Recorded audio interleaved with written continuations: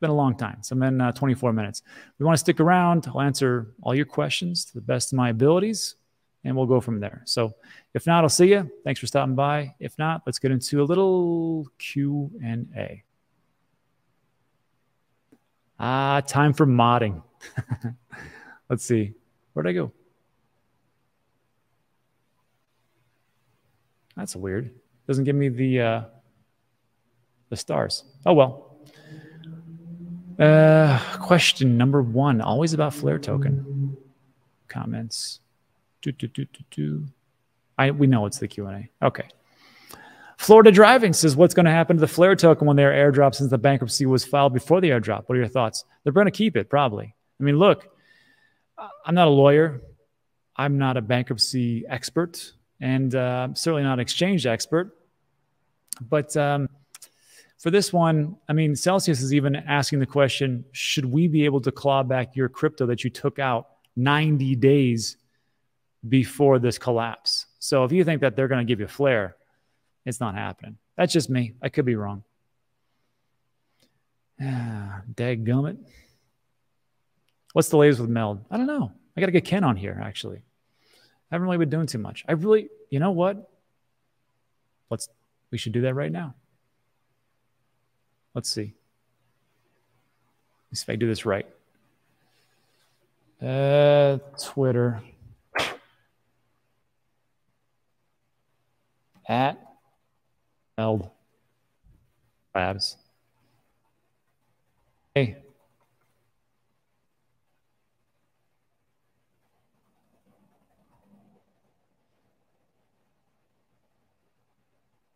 Like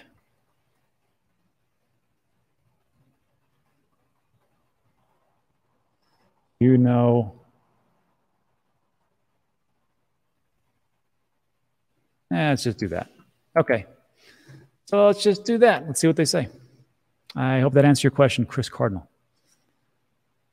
What's your opinion about moon river? I have no opinion. I don't really know what it is. I don't know a lot of projects out there. Uh, i just kind of stick to my wheelhouse. That's it It's a great question. It's a great question. Why are bubbles round? I don't know if anybody can answer that, but why aren't they square? Yes, this is not what Dan live tweet show. Uh, Beardy wants his plenty. Yin. Oh, uh, oh yeah. Look, Yin, and everybody who asked that.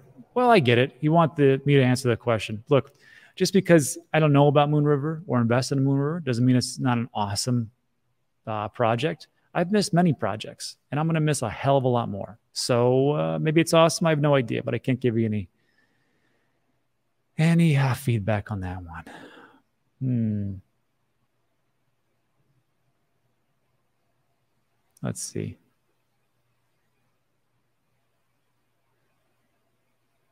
Yeah, it's a good question. That's a great question. Melvin says, why is there so much fear with Coinbase when they seem to have made a lot of good decisions with regards to 3AC, Voyager, and Celsius? It's because nobody trusts anybody. That's what it comes down to. I think you really have to look at why did Celsius and Voyager, why did they collapse? Well, if you listen to Alex Mashinsky, and if you believe Alex Mashinsky, uh, when they were a part of potentially to bail out Luna, they said, no, we're not going to do it. And we're not going to put any of, we're going to take all of the funds, all the user funds out of the Anchor protocol, which from what he understood, what I believe he said that on my, you know what? How about, I should have him tell you that. Uh, not sure if I have it. I do have it. Hold on. Mm.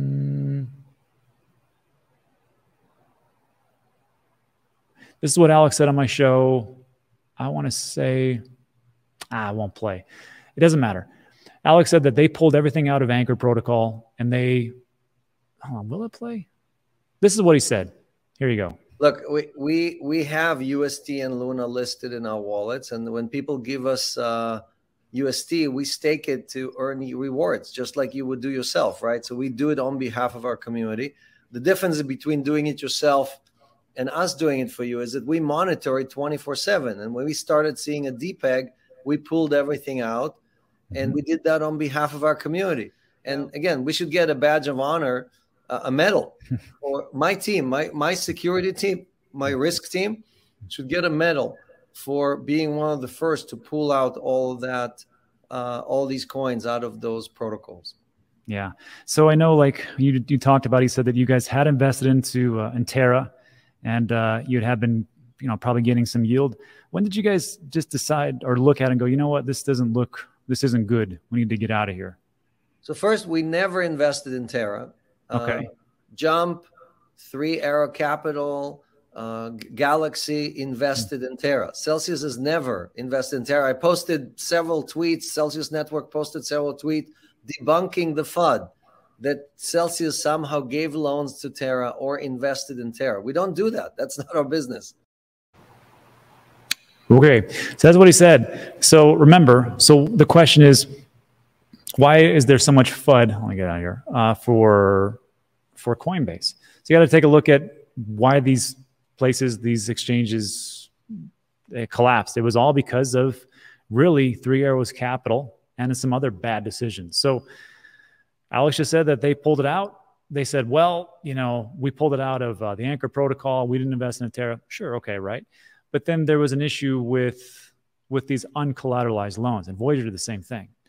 So now the question is, well, did Coinbase do any kind of uncollateralized loans? Well, they wanted to. Remember, they wanted to do the earn their earn, own earn program. They they went in to the SEC and said, "We would like to do this." And Gary Gensler and their and his staff said, "You're not going to do that. And if you do that, we're going to sweat, we're going to sue the pants off you." And I got to tell you, I know no one wants to hear this, but Gary Gensler was right. And uh, because he even took a look at the terms and conditions and go, look, you guys are commingling your funds and user funds. And that's what's happening over here. We're not going to let you do it. So I know people are pissed off at Gary Gensler and all the things that happened with him, but on one thing, he was 100% correct. Sorry. So uh, if we take a look at that, they haven't done any kind of loans. Is there any other contagion that could happen? Sure. I don't know everything. Guess what? I'm just some guy on my mom's basement with a really cool green screen talking to you about things that are going on. But I don't have any insider information. Nobody trusts me that much. And if they would tell me, I probably wouldn't tell anybody else because I wouldn't want to get sued.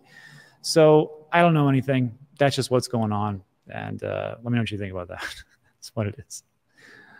Ah, never trust the pull on. That's true. What? The Meld manager just DM me on Twitter. Go check it out. What'd they say?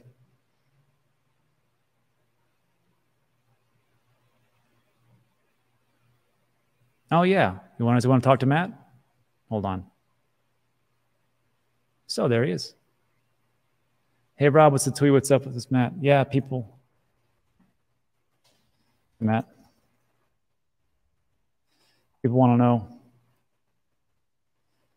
what's the progress. Meld. Can someone come on the show? Talk. See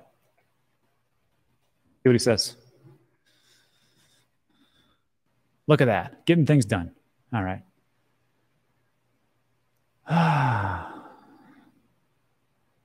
hey, Des. The Simon indicator, I'd love to have Simon on again. He was he was my co-host and we just went over the news. It was pretty good. I should I should ask him. You know what? Why don't we ask him right now? Let's see. Mm.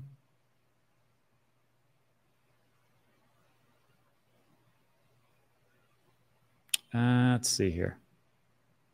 Oh, I need to share my screen. hey, it's Simon Yu.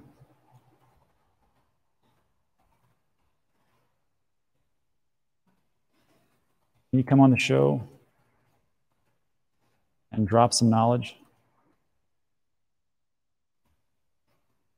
Everyone wants to know why I call you the Simon indicator.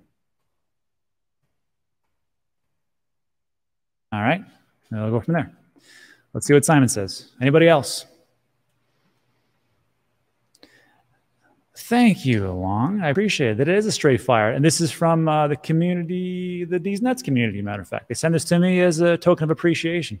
Because I've had, I, I, have one NFT I treasure, and that's the, that's the Deez Nuts NFT. If you have never, and this is not a joke, if you've ever gone to like their Discord group, it's fantastic. It's like the funniest thing you're ever going to watch. And it's that kind of humor, but it's hilarious. So I should really add them into my description, all the videos. But yeah, they sent this to me. I thought it was pretty good. I always wear this one. So tonight over at Union, you can find me because I got this shirt on.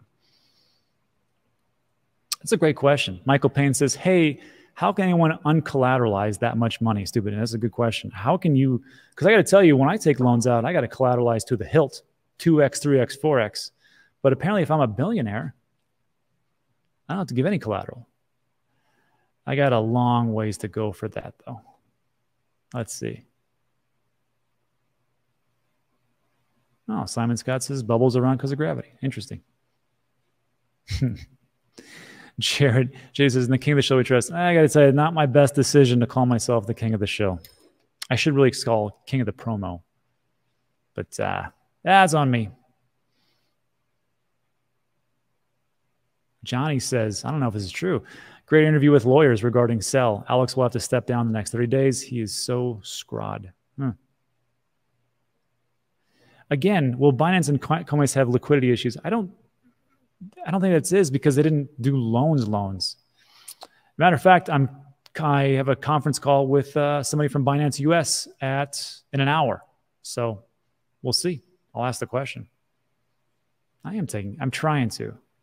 If I don't do it now, when are you going to do it? I believe people drink soup.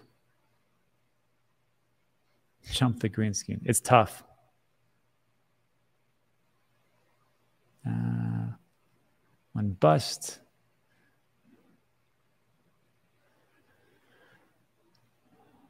Oh, that's a great question. I'm trying to get Rod's perspective on what he thinks the future would look like when it comes to the projects will be in the top 10. I don't think Bitcoin will be number one. So, a long time ago, I used to do these things called price prediction videos. And I will probably never do any of those again because they get people so, the exuberance of people, they think, well, you know, Dan said it's going to go to 150K. So that's, that's like rock solid. And then Dan said VGX is going to go to $30, so I got to get into it. I will never do those things again because it just gives you this this false sense of like, well, one person said it, so it may be a reality. And I know for some of you that's like that's crazy, but it's how some people think. So uh, in the future, I don't know. I don't even want to speculate. I just think that uh, we just take a look at.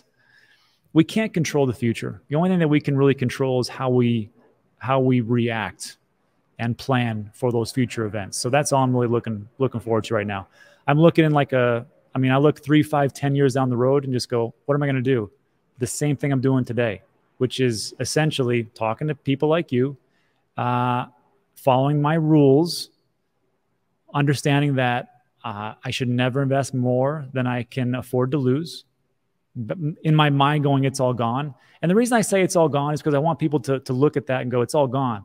So when they go, hey, I need to take my entire life savings and put it onto Moon River or whatever, they're like, wait, maybe that's not a good idea. Because if it's all gone, that's what it is. It's a very aggressive step to say things. I know some people say you shouldn't say it like that. Well, too bad. That's how I say it.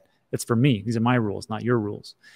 Next one is, everything's a scam until proven otherwise. You have to verify, don't trust. I don't want to leave anything on exchanges anymore, not even my 3%. Uh, no leverage. I don't want to do any of that stuff. I never done that before either. And some people can do it, but that's not me. And of course, I'm always going to remind myself to take profits. Me and Mullet have had discussions about this. And we're going to be on each other's backs to do those things. Take profits. So that's that.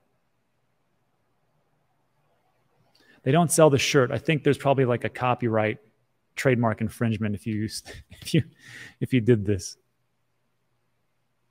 That's right. Musket coin.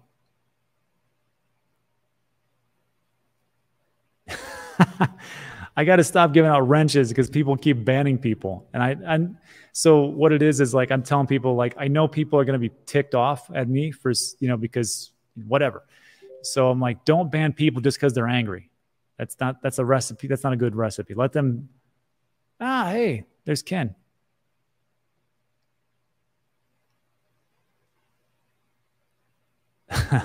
the Ken from Meld, Ken Blau, the CEO. I don't think I can show you this though. It's everybody else.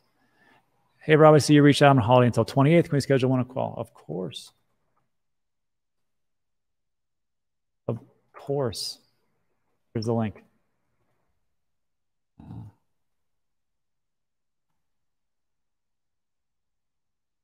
Great. So Ken the CEO from Meld, is on holiday until the 28th, and then we'll have him on. So we'll have him on in August or so. Good? Great. Uh, let's see. Cel is being accused of pumping CEL price with customer Bitcoin. I don't know why they want to do that. There's a big sell short campaign going on, so I don't know. Well, that would actually make sense. They're shorting everything. Everyone gets a wrench.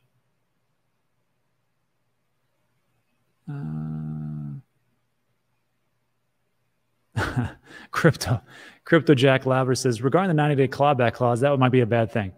If they do that, they'd be the most hated project of all time in all of crypto. Good job, Waves, making things happen. Everybody, it's okay. Uh, I like Metallica. I'm actually pretty good with a real wrench. No, no, no, you don't understand. So I know there's one blockbuster that's open, but the rights to the blockbuster trade blockbuster trademark is through a pretty big company. I forgot who owns it, but uh, the blockbuster DAO tried to get it from them. I want to say it's not Citibank, it's somebody else. So you can't use this. Intellectual property is pretty tough to, to come to get through. Thank you, Capo. Not your dad. Now that will be a great t-shirt. Mm.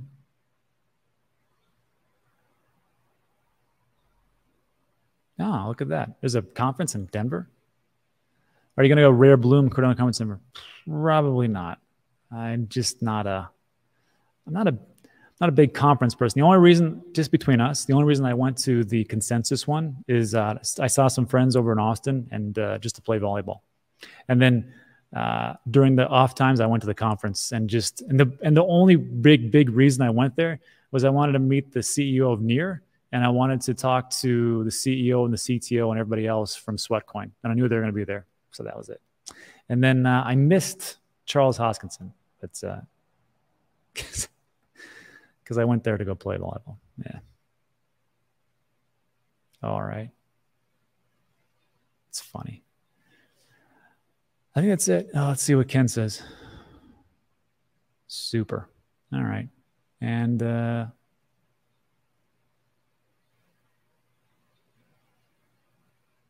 sweet. So, good news. Simon says, let's do it. All right. Check your messages. Check your DM. Should be a good one. And in, and in case you guys don't know who Simon Yu is, he's the he's the founder of uh, StormX, and he's the one that's given me some pretty invaluable insights into the crypto market. markets. He's been around since 2014, and uh, that's all I'll say because I don't want him to get in trouble. And that's it. All right, so everybody, uh, I want to say thanks for stopping by. I think uh, we're good to go today. If you're in El Paso, remember we're going to be well. There's two things to remember, please which is, uh, let me pull this up here. Uh, First of all, here's Union Draft House. It's on the east side.